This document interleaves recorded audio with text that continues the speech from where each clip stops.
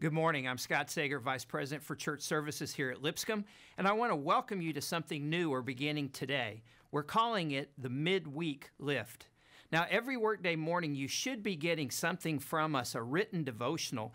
But on Wednesday, we wanted to do something special by offering a powerful 15 minute video devotional that can inspire your day and help you make it through the rest of the week. Today, we begin by having a prayer, and then Kim Chaudoin will be reading scripture for us. Mark Lanier, a member of our board of trustees, the founder of the Lanier Library and the Lanier Law Firm, will be our speaker. And then we'll close with some music by Steven Curtis Chapman. We hope it inspires you, you enjoy it, and also that it fills your day with a lift that comes from Jesus Christ. Shall we pray? Heavenly Father, we want to thank you for this day.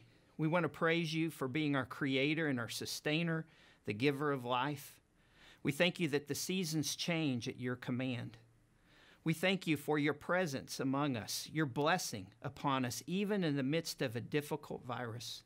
We thank you for the community that we're a part of here, and we pray that your blessing might be upon us. Lord, we also thank you that you are our comfort when we're going through difficult times.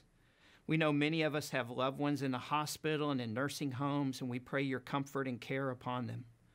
We especially pray for your comforting mercies to be poured out upon the CEA and upon our security team at the loss of employees that they have experienced.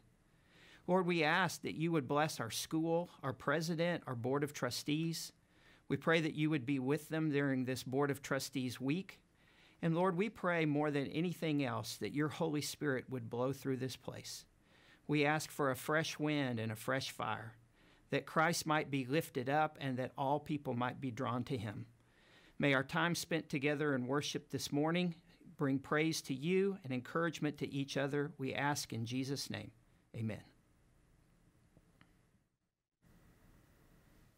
Our scripture reading for today is Philippians 4 4 through 13. Rejoice in the Lord always. Again, I will say rejoice. Let your gentle spirit be known to all people. The Lord is near.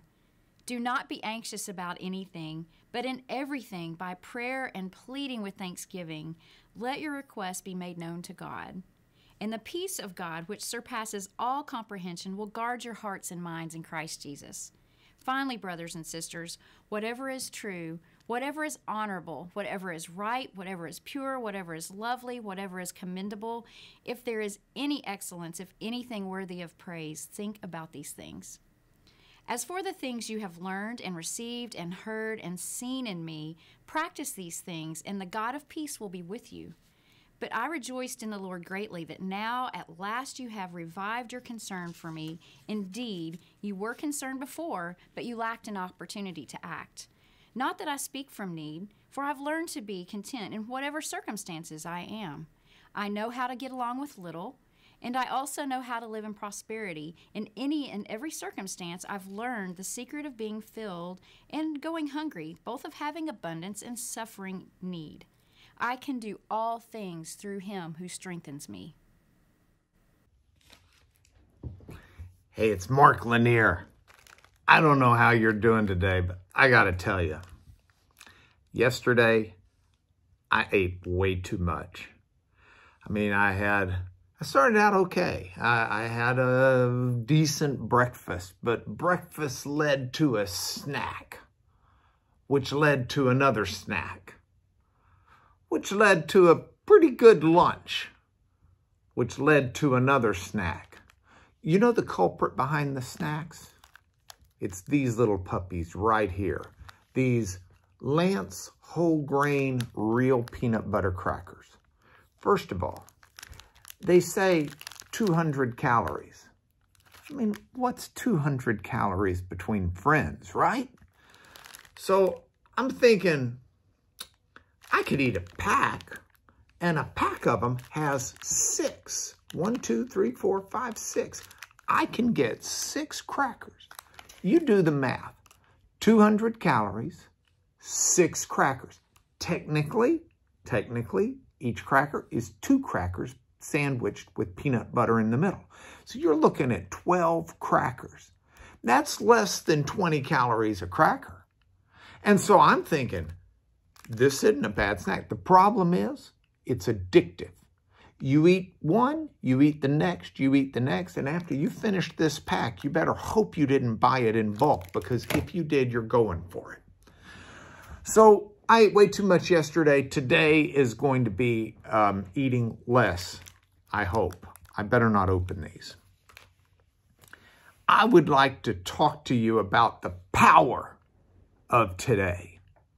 And the power of today does not rest, the true power of today does not rest in your self-discipline or mine. The power of today to get things done that need to be done does not rest in my talent, in my uh, skill, in luck. The true power to get things done today rests in the Lord Jesus Christ. Now, let me tell you what I mean. Every morning, what I do is I, well, not every morning, but most every morning, what I do is I say, all right, what do I have to do today? And I make lists. I have here my, my book. I have my list of things I have to do today. And some of the things are really going to be fun and exciting and good. Some of the things are just kind of like, meh, I got to do that.